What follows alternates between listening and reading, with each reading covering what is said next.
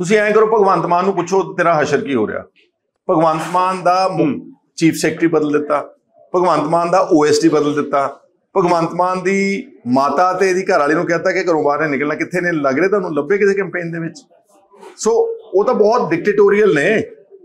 ਉਥੇ ਜੈਨੂਇਨਲੀ ਮਤਲਬ ਜਿਹੜਾ ਦਿੱਲੀ ਦੀ ਲੀਡਰਸ਼ਿਪ ਹੈ ਉਹ ਪਰ ਕੱਟ ਕੇ ਰੱਖਦੀ ਆ ਤੇ ਜਦੋਂ ਮੇਰੀ ਉੱਥੋਂ ਉਹਨਾਂ ਨੇ ਮੈਨੂੰ ਹਟਾਇਆ ਬਤੌਰ ਲੀਡਰ ਆਫ ਆਪੋਜੀਸ਼ਨ ਅਸੀਂ ਉੱਥੇ ਵਿਦਨ ਪਾਰਟੀ ਵੀ ਕਹਿੰਦੇ ਸੀ ਕਿ ਸਾਨੂੰ ਪੰਜਾਬ ਨੂੰ ਆਟੋਨੋਮੀ ਚਾਹੀਦੀ ਹੈ ਅੱਜ ਵੀ ਭਗਵੰਤ ਮਾਨ ਤੇ ਪੰਜਾਬ ਦੇ ਜਿਹੜੇ ਤੁਸੀਂ ਦੱਸੋ ਮੈਨੂੰ ਕਿੰਨੇ ਮਿਨਿਸਟਰਸ ਨੇ ਕੋਈ ਬੋਲਦਾ ਪੰਜਾਬ ਦੇ ਮੁੱਦੇ ਉੱਤੇ? 92 ਐਮਐਲਏ ਨੇ ਕੋਈ ਬੋਲਿਆ ਗੁਰੂ ਗ੍ਰੰਥ ਸਾਹਿਬ ਦੀ ਬੇਅਦਬੀ ਤੇ? ਕੋਈ ਬੋਲਿਆ ਨਸ਼ਿਆਂ ਦੇ ਮੁੱਦੇ ਦੇ ਉੱਤੇ? ਕੋਈ ਬੋਲ ਰਿਹਾ ਇਹਨਾਂ ਚੋਂ?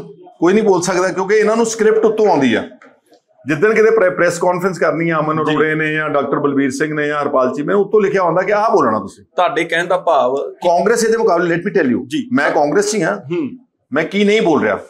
ਤੁਹਾਡੇ ਮੈਂ ਮੈਂ ਐਨਐਸਏ ਦਾ ਵਿਰੋਧ ਕਰ ਰਿਹਾ ਦੱਸੋ। ਮੈਨੂੰ ਕੌਣ ਕਰ ਸਕਦਾ?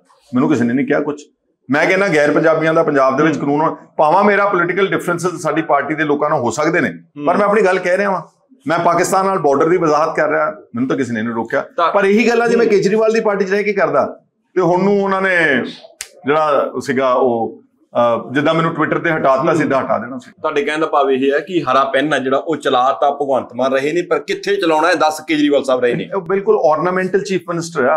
ਇਹਨੂੰ ਕਿਹਾ ਗੱਡੀ ਗੁੱਡੀ ਝੂਟ ਲਾ ਜਹਾਜ਼ ਚੜ ਲਾ ਤੇ ਸ਼ਾਮ ਨੂੰ ਜਿਹੜਾ ਆਪਣਾ ਕੰਮ ਕਰਨਾ ਕਰ ਲਾ। He is not a he is no more a powerful chief minister ਇਹ ਪੱਕੀ ਗੱਲ ਸ਼ੋਰ ਹੈ ਤੁਸੀਂ ਦੱਸੋ ਆ ਜਿਹੜੇ ਫਾਈਨੈਂਸ਼ੀਅਲ ਐਡਵਾਈਜ਼ਰ ਲਾਏ ਨੇ ਇਹਦੇ ਉੱਤੇ ਜਿਹੜੇ ਕੋਈ ਜਿਹੜੇ ਪੁਰਾਣੇ ਆਈਆਰਐਸ ਰਿਟਾਇਰਡ ਆਫਸਰ। ਸਾਰੇ ਗੈਰ ਪੰਜਾਬੀ ਨੇ। ਆ ਹੁਣ ਤੱਕ ਪੰਜਾਬ ਸਕੂਲ ਐਜੂਕੇਸ਼ਨ ਬੋਰਡ ਦੀ ਚੇਅਰਪਰਸਨ ਲੱਗੀ ਸੀਗੀ ਉਹ ਗੈਰ ਪੰਜਾਬੀ ਮੈਡਮ ਬੇਦੀ ਸੀ ਕੋਈ ਦਿੱਲੀੋਂ ਲਿਆਂਦੀ। ਜਿਹੜਾ ਰੇਰਾ ਦਾ ਲਾਇਆ ਸੀਗਾ ਚੇਅਰਮੈਨ ਉਹ ਕੇਜਰੀਵਾਲ ਸਾਹਿਬ ਨੇ ਲਗਵਾਇਆ ਸੀਗਾ। ਜਿਹੜਾ ਤੁਹਾਡੇ ਪੰਜਾਬ ਯੂਨੀਵਰਸਿਟੀਆਂ ਦੇ ਵਾਈਸ ਚਾਂਸਲਰ ਲੱਗੇ ਸੀਗੇ ਉਹ ਸਾਰੇ ਉਹਨਾਂ ਦੀ ਰეკਮੈਂਡੇਸ਼ਨਸ ਦੇ ਉੱਤੇ ਸੀਗੇ।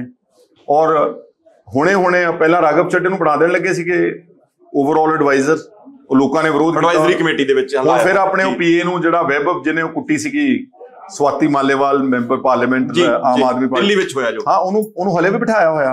ਹੂੰ। ਰਾਜ ਸਭਾ ਦੇ ਮੈਂਬਰ ਸਾਰੇ ਗੈਰ ਪੰਜਾਬੀ ਬਣਾਏ ਹੋਏ ਨੇ। ਹੋਰ ਕੀ ਹੁੰਦਾ ਵਾ? ਹੋਰ ਤਾਨਾਸ਼ਾਹੀ ਕਹਿ ਲੋ ਜਾਂ ਕਿਸੇ ਨੂੰ ਅਧਿਕਾਰ ਨਾ ਦੇਣਾ ਹੋਰ ਕੀ ਹੁੰਦਾ?